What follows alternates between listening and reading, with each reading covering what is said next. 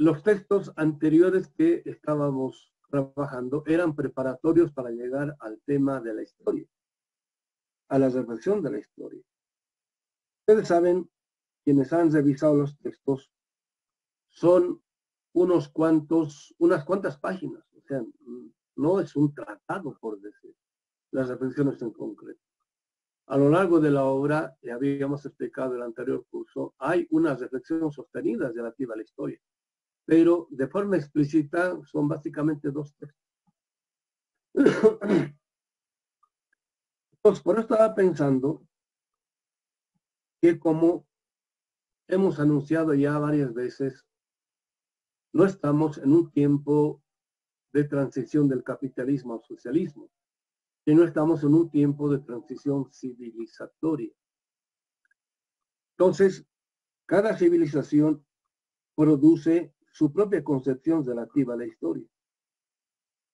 estaba pensando que tal vez, en vez de trabajar el texto de la violencia, porque estamos viviendo un momento sumamente violento, empecemos o vayamos directamente al texto de las reflexiones relativas a la historia o a las tesis filosóficas sobre la historia. Eso por un lado. Por otro, he pensando yo en cómo es que podríamos trabajar. Y lo que normalmente yo he hecho este, en los cursos, primero es presentar una pequeña geopolítica, una reflexión geopolítica respecto a lo que está pasando. Ah, estoy seguro que muchos de ustedes se han puesto a ver noticias, leer análisis, etcétera. Yo he estado metido, ustedes no se imaginan, prácticamente todos los días y todo el día enterándome de lo que está pasando a nivel mundial. Porque, bueno, el filósofo tiene que eh, pensar a partir de lo que prácticamente acontece en la realidad, entonces hay que empaparse de todo. Eh, por mis problemas físicos, prácticamente ya no puedo escribir ni a mano ni en la compu. No he podido hacer ningún texto. Ya voy teniendo poco a poco ideas duras que, digamos, las podría exponer en este contexto.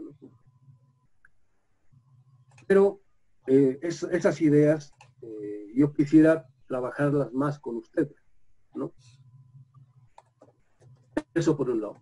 Por otro lado, siempre pienso en la gente que acaba de llegar al curso, o sea, los, los nuevos, pues, ¿no?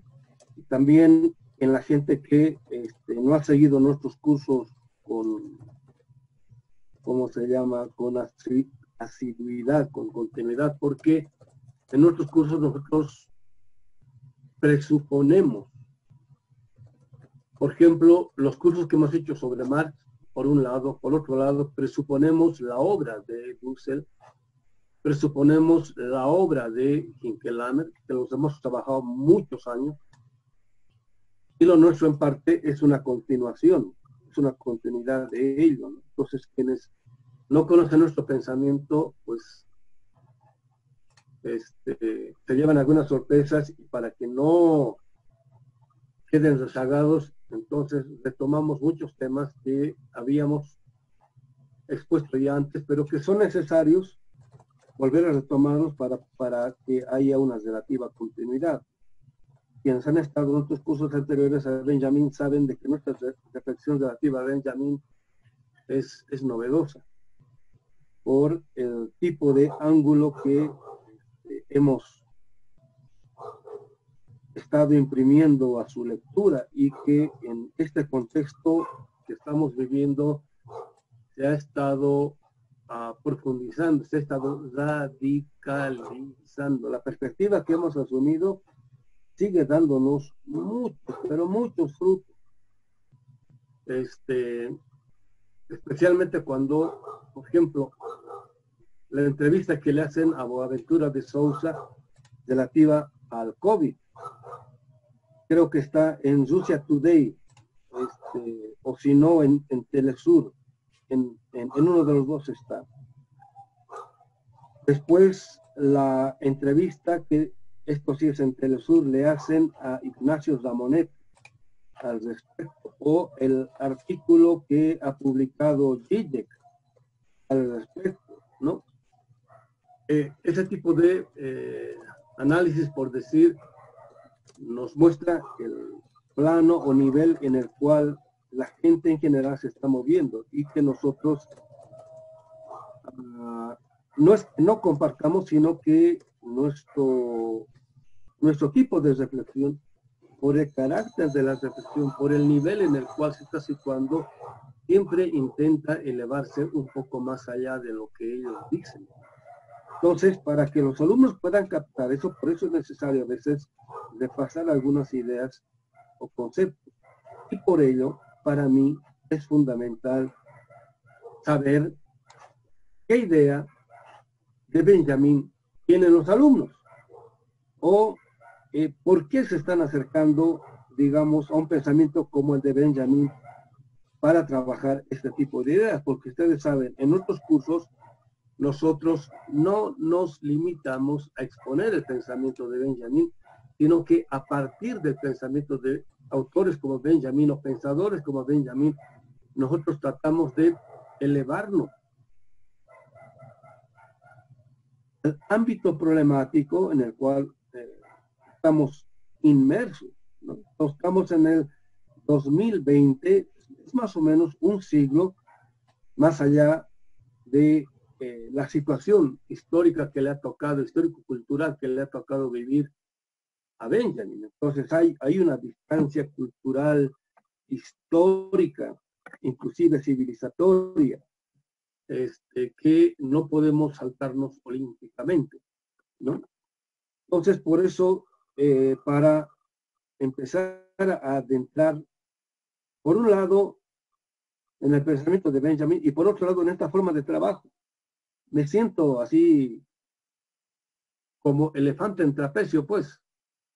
Estoy enfrente de una, de una pantalla. este, y todavía no, no logro palpar la relación con los alumnos, ¿no? Entonces, me gustaría empezar, antes de hacer la pequeña revisión geopolítica, me gustaría escucharlos a ustedes el por qué Benjamin o por qué se están metiendo a Benjamin, o para qué Benjamin, ¿no? Eh, para eh, a partir de ahí empezar a retomar algunos hilos en, en las reflexiones relativas a nuestro tiempo, porque ustedes van a ver, cuando tenemos otra visión de la historia, los problemas relativos al COVID aparecen de otro modo. O si no, la situación económica, política, y en este caso este, de salubridad en la cual estamos sumidos, aparecen de otro modo. Y cuando aparecen de otro modo, ya no nos ubicamos en el plano en el cual están todos los analistas. Todos los analistas están aquí pensando en, por un lado, de dónde ha surgido esta, esta enfermedad. Y por otro lado, lo que se está haciendo. En el caso nuestro, cuando nos ubicamos en esta otra perspectiva, la problemática cambia. No solamente eh, qué se está haciendo, sino qué podemos hacer nosotros para salir adelante de todo esto, porque, ojo, no sé si habrán escuchado nuestras últimas exposiciones. Empecé a decirlo el año pasado, en julio del año pasado, en Costa Rica, pero lo dije de modo contundente en Venezuela en mi conferencia última del mes de diciembre. El poder imperial, ahora yo le llamo el Estado, el Deep State del Deep State. Ustedes saben, el Deep State del Estado profundo norteamericano había tenido otro más, que, está más atrás. También le podríamos llamar el gobierno del 1% de la humanidad, estos riquillos de los riquillos tipo Bill Gates y compañía, ¿no? Ya lo dije, algo que surgió a partir de eh, varias reflexiones y análisis que aclarar es la diferencia entre análisis sociales y relaciones humanas. Eh, en los cursos anteriores ya hemos abundado bastante en la especificidad de las relaciones sociales que son modernas en sentido estricto. O el problema va a ser aclarar qué significa pensamiento crítico. Este, ahora los grandes críticos se han quedado, o sea, Habermas pero, ha quedado pero bajo, bajo, bajo, bajo. Y supuestamente es el gran heredero de, ¿cómo se llama? La teoría crítica, ¿no? Los comentarios que ha hecho, bueno, le han publicado una, una entrevista en la cual él prácticamente ha dicho de que está pasando, ustedes saben, la desintegración de la comunidad europea, él ha dicho que este, está pasando ese tipo de problemas porque no le han entendido a él. No. Ya hemos mostrado varias veces de que eh, la noción de crítica de Habermas parte por un lado de Weber y vía Weber de Kant. Ya no tiene nada que ver con Marx, ¿no? Entonces, por eso es que los críticos a la Habermas, por decir, tienen poco o nada que decir en como esto. Por eso es tomar la noción de crítica fundamental. Y ojo, Benjamin también parte de. Pero no se queda ahí. Por eso su relación no solamente con Marx, sino con el misticismo judío. ¿no? Pues ahí hay un giro. Son una serie de matices. Ustedes van a ver que cuando uno capta el matiz, está del otro lado. Y se ve una idea de uh, el escenario que voy a tener, el público que voy a tener, el auditorio que voy a tener enfrente. Uh, ahora me estoy sintiendo un poco mejor. Ya no me siento solo enfrente de una, de una pantalla. Eh, por escucharlos ustedes ya más o menos me, me, imagino el tipo de interlocutor. Me parece que vamos a tener un buen curso porque todo lo que he escuchado es de gente que está centrada no es un acercamiento romántico en el sentido pésimo de la palabra, sino más o menos reflexivo y con intencionalidad crítica. Entonces, a partir de lo que han dicho ustedes, voy a intentar aclarar algunas, algunos conceptos y algunas categorías eh, que van a ser guía en nuestro curso. En el caso de Benjamin, tener del modo más claro posible el nivel en el cual tu pensamiento se ubica es fundamental. Esto tiene que ver con la primera intervención. La relación, yo le llamo entre análisis y reflexión. ¿no? En el curso de Marx, nosotros hemos mostrado bien, con mucho argumento, que también en el de Bloch, la dialéctica de Hegel es de tres niveles. El nivel de la conciencia, el nivel de la autoconciencia y el nivel de la razón. Entonces, el pensamiento en general se mueve en esos tres niveles. Parte siempre del primer plano, de esa de la conciencia, que es el que alude al pensamiento habitual o cotidiano, cuya especificidad se desarrolla o desenvuelve en el plano del análisis. Es el tipo de conocimiento que está apegado a los hechos. Siempre está buscando pruebas, lo cual está bien, no está mal. Y esto en el, ámbito donde, aparecen todo tipo de diferencias, porque los hechos o los fenómenos múltiples y diversos no se dan o no se exponen del mismo modo. ¿No? Hegel dice que el pensamiento, que la especificidad del pensamiento dialéctico es no quedarse en ese plano, sino elevarse hacia lo que está escondido o presupuesto en el plano o nivel del aparecer de los fenómenos o de los hechos. A eso le llama autoconciencia, cuya especificidad de pensamiento es el plano de la reflexión. Por eso insisto, nosotros no podemos movernos solamente en el plano del análisis. De ahí hay que elevarse inmediatamente al ámbito de la reflexión. En el ámbito de la reflexión, en el lenguaje de Marx, descubrimos qué es aquello que está detrás del fenómeno, en este, en este caso detrás de la cosa, detrás de la mercancía. Siempre descubrimos relaciones humanas. Y ahí es donde nos aparece el ser humano.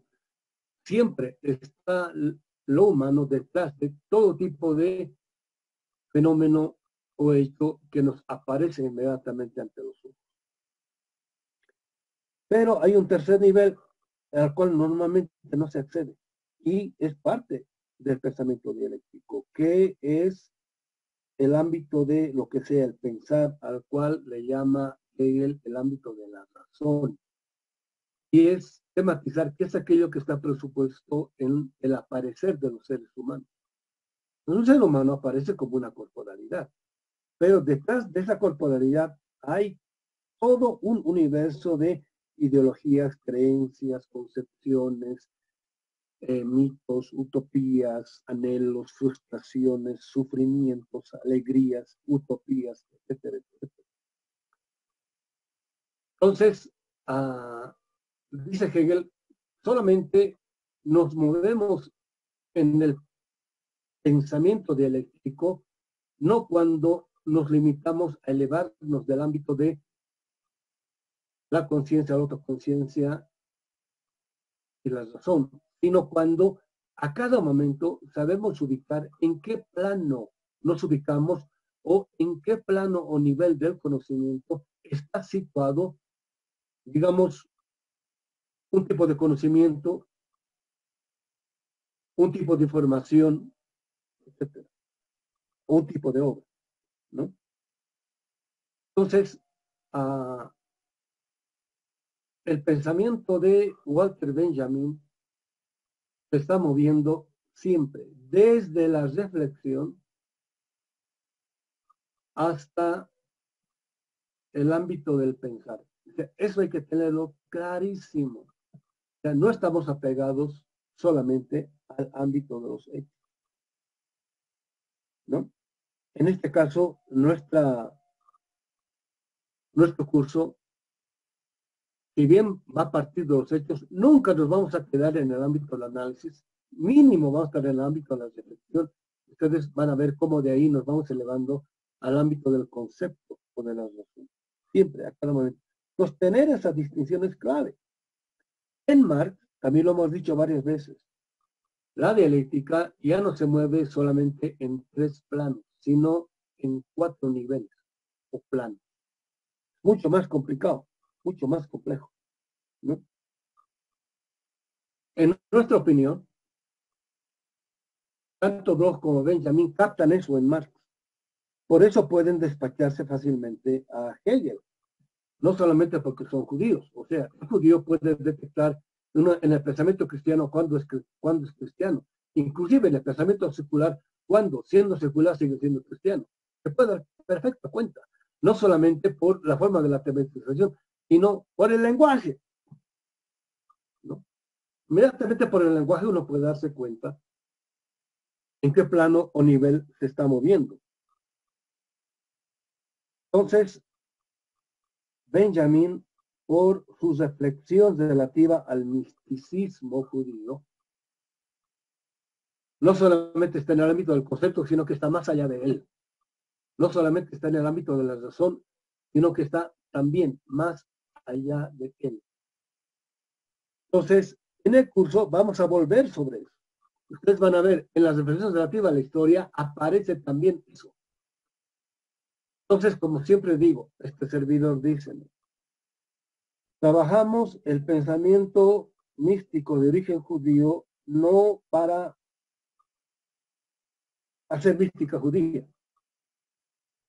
sino para ver cómo podemos en diálogo con el misticismo judío, dialogar con el pensamiento místico presupuesto en los pueblos originarios de nuestro continente. Y que ahora, durante viendo cualquier cantidad de documentales de la India y de la China y este, de los países en torno de la cultura china, del Tíbet, etcétera, etcétera. Y hay tantas cosas similares. Por ejemplo, los cuatro niveles de el pensamiento se dan en toditos.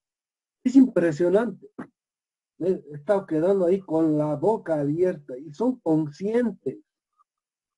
Tanto los hindúes, los tibetanos, los chinos, de todo esto, son conscientes. A partir de esto, les suelto una, un pequeño input. Fíjense, supuestamente el problema empezó en la China, el, de la COVID. ¿Por qué después de los 3.500 contagiados, digamos 4.000, vamos a suponer que han escondido información, 5.000 contagiados, inmediatamente han, han detenido la pandemia? ¿Por qué? En España y en Italia no han podido detenerlo. Imagínense en los Estados Unidos. Han pasado en millón doscientos mil. No pueden detenerlo. ¿Por qué? Esto tiene que ver con el tipo de relación que estos pueblos tienen con un tipo de medicina y con un tipo de alimentación. Ya estoy soltando un cierto tipo de hilos conductores que nos van a servir a nosotros como campo de reflexividad a partir del cual podemos pensar de otro modo este entrampe en el cual estamos metidos. Entonces, la modernidad se enfrenta violentamente al pensamiento dialéctico para producir un tipo de sentido común que esté apegado solamente al ámbito del aparecer del fenómeno del hecho. No sea capaz de elevarse al ámbito de la reflexión, peor pues del pensar. Cuando sucede esto, nadie sabe cómo salir o pensar más allá del capitalismo y la modernidad. Por eso, Popper o Weber o ese tipo de pensamiento no solamente ha sido una necesidad, de imposición para el capitalismo y la modernidad, sino que le han permitido producir un tipo de sentido común del cual ni la gente de izquierda puede salir. Increíble. Entonces, por, eso tener la claridad relativa a la distinción entre análisis, reflexión y pensar es fundamental. Fundamental. ¿no? Eso hay que tenerlo en cuenta. Ahora, yo sé que muchos de ustedes ahorita no lo tienen claro. Pero en la medida en que avance el curso, vamos a ir volviendo al respecto una y otra vez, una y otra vez. Y ahí voy a ir poniendo ejemplos para que veamos o aprendamos a distinguir cuándo un tipo de conocimiento está en el plano del análisis y en muy pocos casos, desgraciadamente, en el plano de la reflexión y cómo nosotros podemos seguir elevándonos para ir más allá de eso. Por ejemplo, esta distinción entre información científica, por decir, y fake news, que ha estado siendo difundido por no solamente algunos gobiernos, sino también por la OMS, la Organización Mundial de la Salud, ¿no? Cuando abogaban porque el tipo de conocimiento científico, digamos, avalado por la Organización Mundial de la Salud, tenía que ser difundido para que la gente pueda defenderse del, COVID. Pero prohibir en la, medida, en la medida de lo posible todo tipo de conocimiento médico alternativo a la ciencia occidental moderna, porque para ellos era falso. Fake news. Inclusive, no solamente eh, decían, si no está avalado por la OMS o por los gobiernos locales, entonces no hagan caso, es fake news. O sea que nuestros conocimientos ancestrales son fake news, por un lado. Por otro lado, mucha gente que está cuestionando las medidas de la OMS de derecha, ¿no? Han sido inmediatamente despachados porque eran de derecha, ¿no? Marx nos enseña de que en el pensamiento de derecha, con inclinación inclusive, cuasi fascista, también hay un contenido de verdad. Utilizamos el, pensamiento dialéctico para distinguir entre la paja y el trigo, para saber distinguir entre lo uno y otro. Y han estado viendo, este, hemos estado escuchando muchas este, entrevistas de gente muy interesante pro Trump. Este, y que porque es gente pro Trump, Donald Trump, mucha gente de izquierda, no, son fake news. No, hay, hay que saber distinguirlo uno, hay que tener criterios de orientación para saber distinguir dónde está lo verdadero, dónde está lo falso. Porque mucha gente de izquierda también está circulando conocimiento falso y no es tomado como fake news porque está avalado por la Organización Mundial de la Salud, porque apoya las medidas de la Organización Mundial de la Salud. ¿Cómo vamos más allá de eso? Distinguiendo del modo más claro lo que significa análisis, reflexión y pensar. Entonces, a eso hay que darle vueltas varias veces, compañeros. ¿no? Lo que vamos a más o menos intentar hacer. El caso de la estética en, ¿cómo se llama? En Benjamin. Es interesante, ¿no? Ustedes saben, quienes han leído la biografía de este, Benjamin, su padre era un vendedor de obras de arte. ¿no? O sea que desde muy cabo, este, Benjamin ha estado ligado a la dimensión estética de la realidad. ¿no? Entonces, por eso en parte él, digamos, llega a todo esto vía estética. Lo interesante es que al final de su vida, toda su reflexión estética pasa a segundo plano.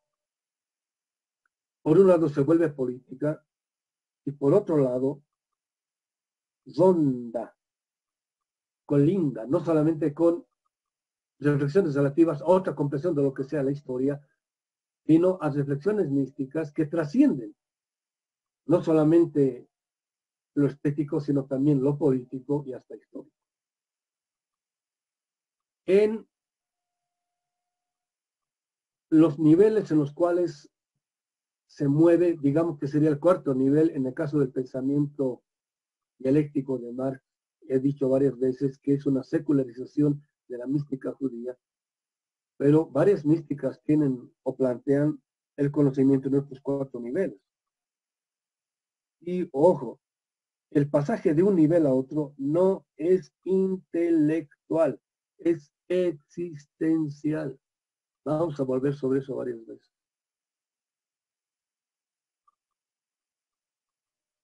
El problema es cómo, partiendo de la estética, trasciende la reflexividad estética y, y arriba a una reflexividad histórico en el sentido de la filosofía de la historia y hasta mística. ¿Cómo se da eso? ¿No? Ese sería, digamos, el tema que centralmente vamos a tocar. Ah, no recuerdo bien el nombre del autor, pero el libro se llama El Ángel de la Historia. Este, he comentado varias veces ese texto el anterior, el anterior semestre. Quienes no han leído el libro, léanlo. Inclusive subimos el texto. ¿Cholen? Estefan Moses. Ah, Moses, Estefan Moses. Él es Estefan Moses. Van a disculpar, yo soy pésimo en fechas y en nombres. Suelo olvidarme a menudo. Stefan Moses, el, el, autor, está en internet el libro. Tiene tres capítulos o tres partes, una dedicada a Rosenzweig, la otra a Scholem y la otra a Benjamin. La parte de Benjamin, léansela, es muy buena, muy buena. Entonces ahí él muestra esto también, de otro modo. Y este Stefan Moses es un judío que está enterado de los problemas. Ojo, no es suficiente con ser judío para estar enterado de los problemas. Horkheimer era judío y no tenía la más remota idea de los problemas que estaba trabajando Benjamin. Es más, hasta los despreciaba. Entonces, ese tipo de cosas también hay que saber ubicarlas.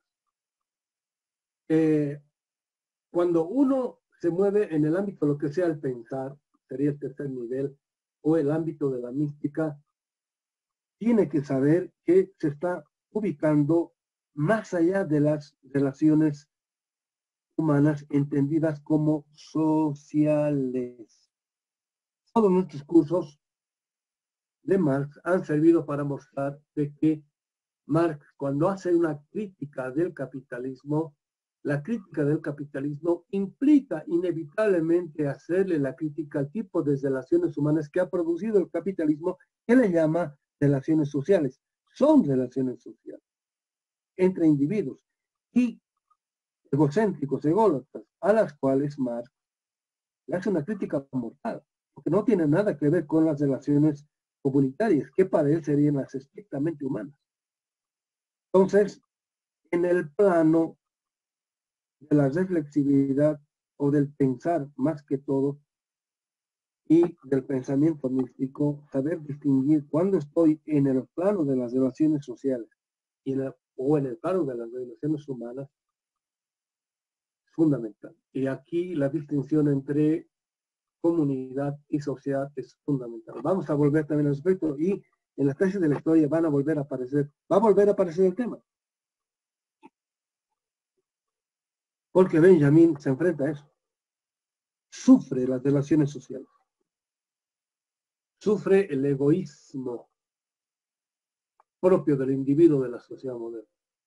El otro día, no sé si está conectado el compañero colombiano que fue a México para nuestros cursos. Él decía algo que todo extranjero en tanto inmigrante sufre o ha sufrido. Que cuando llega de visita o de alojado a una casa, a un hogar moderno, llega como el muerto. Al tercer día ya está apestando. Sí, aquí ese, es, ese es, ese es el, ¿cómo se llama? El hogar o la relación social propia de una familia de tipo moderno. ¿no? En las relaciones comunitarias, a ser un hospedador o tener un huésped es un honor. En el lenguaje de Abraham Avinu, cuando uno recibe a un extranjero, es como si fuese un enviado de Dios completamente diferente al modo como un extranjero llega a un hogar o a una casa en el mundo moderno. A mí, este servidor, eso me ha tocado vivir en veces, ¿no? Y Benjamín ha sufrido eso. Ha sufrido eso. Por eso es un crítico mortal de las relaciones sociales. ¿No? Entonces, eso hay que tenerlo clarísimo. ¿no? Uno no puede confundir lo humano con lo social. La relación social es una perversión de la relación humana producida por el capitalismo en la modernidad. De eso hay que tener claridad. Entonces, el ámbito utópico que a gritos está presuponiendo la reflexión de Benjamin es el ámbito comunitario o humano en sentido estricto. Por eso su relación con lo místico. El misterio que es o que está escondido, yo por supuesto en todo ser humano. Lo mismo diría del ámbito de la literatura. Ya, bueno, he estado viendo cierto tipo de documentales, ¿no?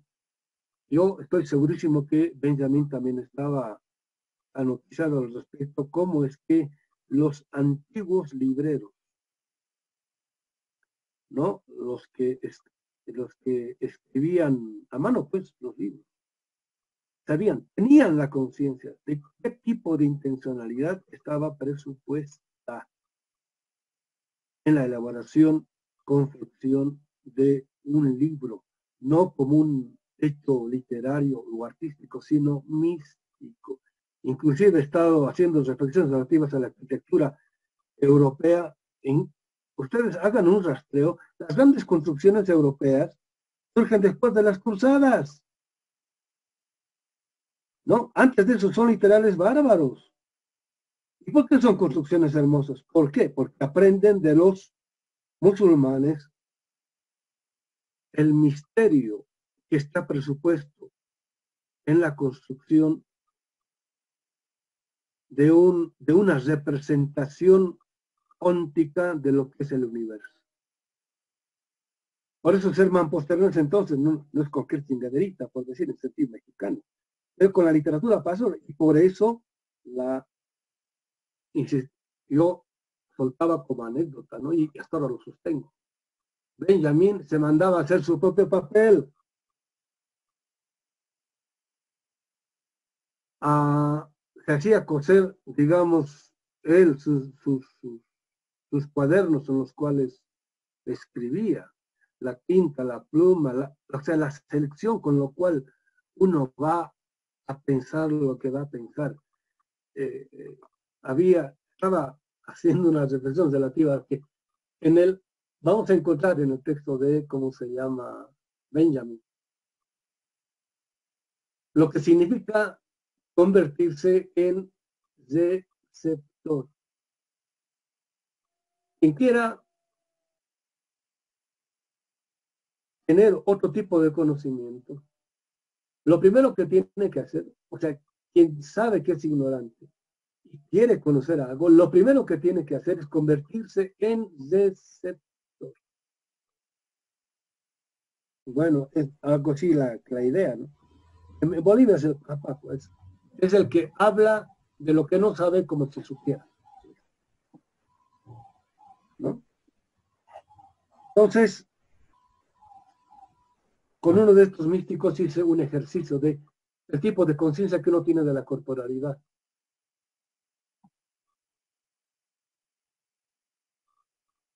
Lo que yo tardaba en hacer un recorrido por toda mi corporalidad con la conciencia, si ustedes quieren con el cerebro con la mente, yo tardaba como 5 o 7 minutos. El místico tarda como dos horas, porque se recorre paso a paso toda la interioridad de su cuerpo.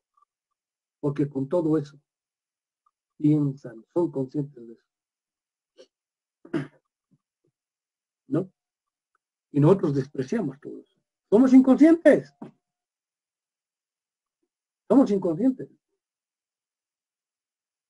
Cuando la modernidad produce ese tipo de pensamiento, entonces los grandes poderes piensan del mismo modo la corporalidad llamada humanidad totalmente inconsciente, ignorante de lo que seamos los pueblos, ignorados, desconocidos, condenados, humillados, dejados, etcétera, etcétera, cada momento. Por eso el pensamiento crítico ahora empieza desde todos esos momentos negados. Por eso hablo de los pueblos originarios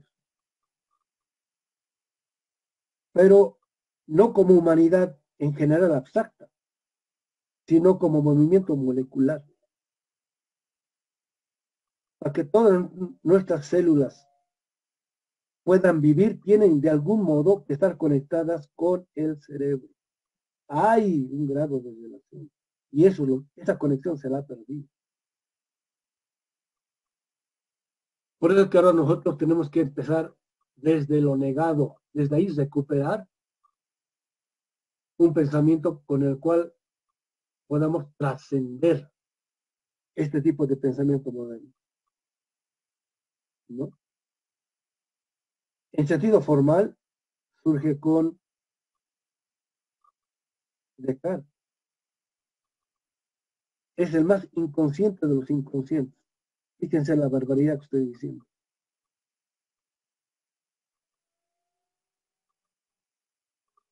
más ignorante, más ingenuo. A ver si podemos llegar a esa relación entre Descartes y Newton. Para quisiera terminar con esta reflexión. Como ese tiempo que no doy clase también ya me estoy agotando. Compañeros decía que hay que trabajar Benjamín o quien quiere trabajar Benjamín para lograr la emancipación. Nosotros hemos hecho varias veces una reflexión relativa a la distinción entre emancipación y liberación. ¿no? El pensamiento emancipador es aquel pensamiento que piensa cómo salir de una forma de dominio. ¿Ya? En ese sentido, el pensamiento moderno es un pensamiento emancipador, porque sale de una forma de dominio. Pero no se da cuenta o no piensa la posibilidad de que el salir de una forma de dominio pueda devenir en otra forma de dominio más sofisticada. Por eso es que la modernidad avanza de emancipación en emancipación, o sea, de una forma de dominio a otra forma de dominio. Evidentemente tiene su momento clásico. El momento clásico es el momento de la emancipación, en el cual, digamos, se libera. Entonces, el pensamiento liberador toma conciencia de esto y lo que se plantea inmediatamente no es solo salir de una forma de dominio o emanciparse de una forma de dominio, sino que emancipándose de una forma de dominio sea capaz de no devenir en otra forma de dominio, ¿no? Pero en el curso de la reflexión descubrimos, gracias, bueno, al principio es en slide, ¿no? Yo creo que alguna vez vamos a tener que hacer un pequeño seminario también de Rosenzweig. Pero aparece en blog y en Benjamin. El problema de la redención. ¿Qué quiere decir esto? Para producir una emancipación en perspectiva liberadora, y ahora diría decolonial, Fíjense la primera vez que estoy utilizando la palabra. Primero, nosotros como seres humanos, ¿no? Es un poco lo que vamos a ir aclarando poco a poco. Son conceptos complicados. O sea, no espere a que se le aclare con una explicación. Vamos a volver varias veces. Es un concepto que eh, lo estoy trabajando hace un año más o menos, ¿no?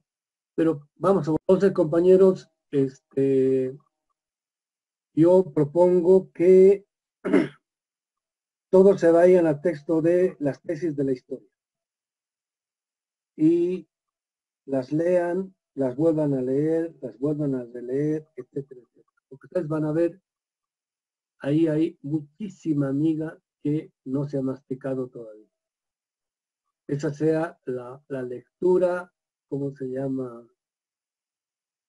Fundamental que vamos a tener. También está el otro texto sobre las reflexiones de la historia. Son, son dos que están ahí en el, Iluminaciones de Walter Benjamin.